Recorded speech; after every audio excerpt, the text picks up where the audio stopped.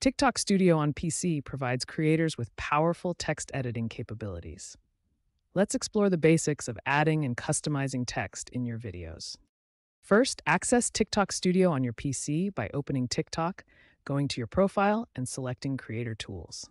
TikTok Studio serves as your central hub for editing and managing your content.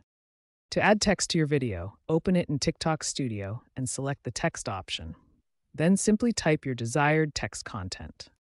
Use the customization menus to adjust your text's font, color, size, and style. You can choose from various font styles, colors, background effects, and animation options to make your text stand out. Position your text by dragging it to the desired location on screen. Avoid placing text at the bottom, where it might be covered by captions and usernames.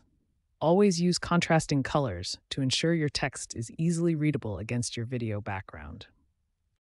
Remember these key steps. Access TikTok Studio through Creator Tools, select the text option, customize your text appearance, and position it strategically for maximum impact and readability.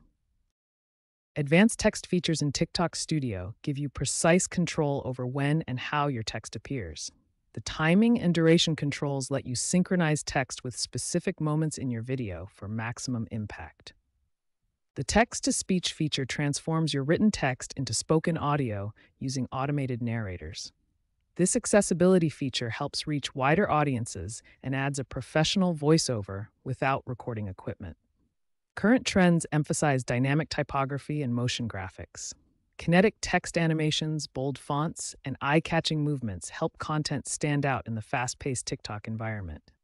AI tools are revolutionizing caption creation by generating engaging text and suggesting fresh hooks.